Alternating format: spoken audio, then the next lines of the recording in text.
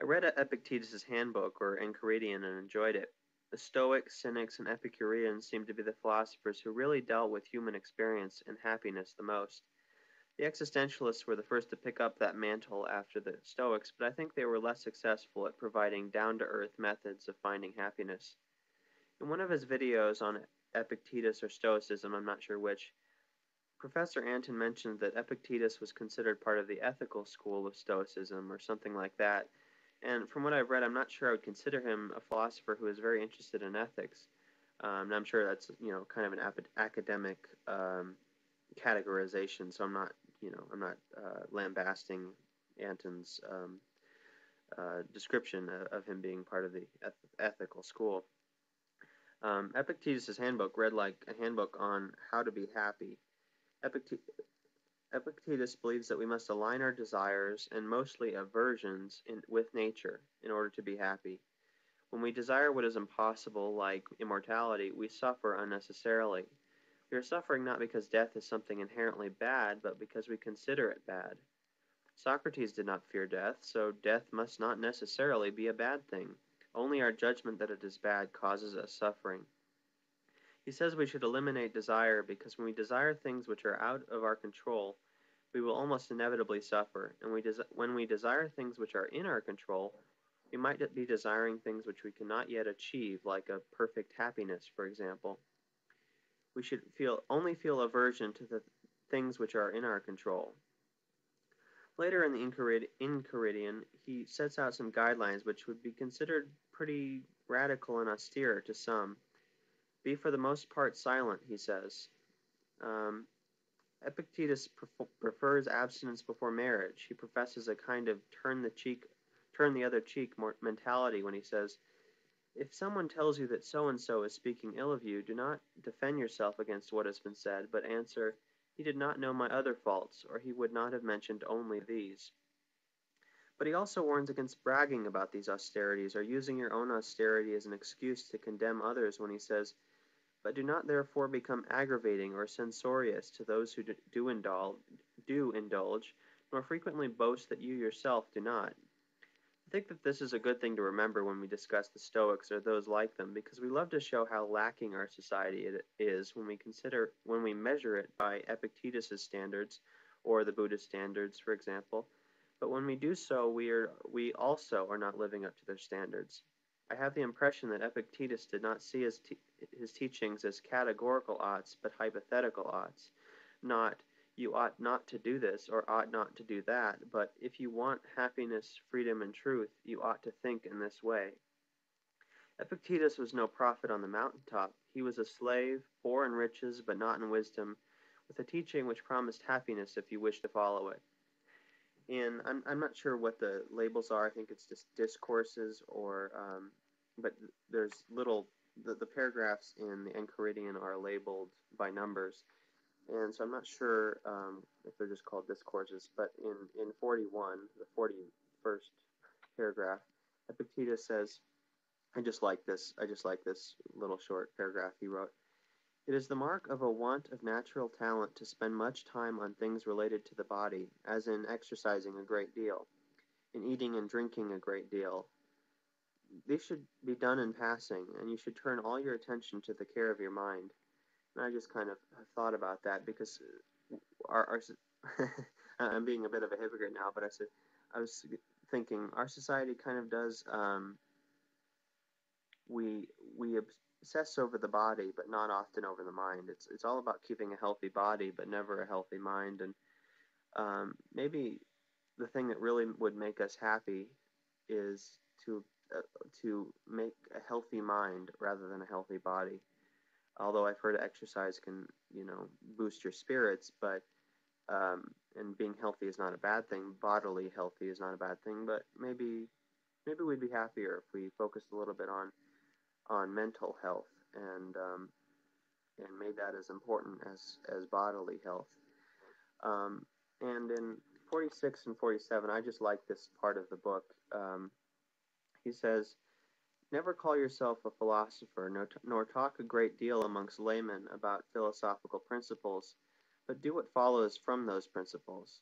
Thus, at a banquet, do not say how people ought to eat, but eat as one ought. For remember how Socrates had so completely set aside all ostentation that when, when people came to him wanting to be introduced by him to philosophers, he took them along and intro- introduced them so well he, he did, did he bear so well did he bear being overlooked. Uh, if if that was um, a little opaque being read, uh, the point his point being that Socrates people would come to Socrates and say, "Oh, would you introduce me to um, I don't know Pythagoras?" And he, he would he would go along and introduce introduce him to Pythagoras and introduce him ever these people to all these philosophers, without ever saying, "Well, I'm a philosopher. I'm I." why don't you want to be introduced to me? Why aren't you, uh, you know, amazed that you're meeting a philosopher? He was never so ostentatious as to think that he deserved to be um, considered a philosopher, considered when when um, when you're trying to find philosophers. So I'll keep going from this um, paragraph. So that if talk should arise among amongst laymen on some philosophical principle, remain for the most part silent, for there is a considerable da- danger that you will immediately vomit up what, what you have not yet digested. And I like that phrase, that that phrase or that sentence, because um, I've often felt my own um, philosophical ramblings uh, and thoughts are a little half cooked or a little half digested, and it's a it's an interesting image to think of it being vomited up all these all these half half baked ideas that people get in their minds um, without you know before without proper consideration of of the um, those concepts. And, and I'll keep going. And when someone tells you that you that you know nothing and you are not nettled by it, then you may be sure that you are setting to work at your task. For sheep do not bring their fodder or their food, their fodder to the shepherds to show how much they have eaten, but digest their food internally and produce well, wool and milk externally. And so you likewise should not display your principles to laymen, but rather show them the actions that will result from these principles once they have been digested. And that, I thought that was a really good image um, and a good way of thinking about it, because a lot of times we'll, we'll go around and we'll we'll um, show people how moral we are and brag about our morality, and and meanwhile we're we're we're being jerks to half the people we meet and treating everyone horribly and um, and so I like the idea of not proclaiming your ethical principles, but digesting them and making them a part of the way you live, and in that way showing your showing those principles to the people around you, much like a sheep, rather than showing its food to its owner, digests the food and um, and uh, and gives the owner the wool and milk that it produces. So I thought that was a a once again I thought that was a good image. Um, and then in 47, he says. Um, when you have become adapted to the simple life in bodily matters, do not pride yourself upon it, nor, if you drink only water, be saying on every occasion, I drink only water. And if at, if at any time you want to train yourself to endure hardship, do it for your own sake, and not for the world.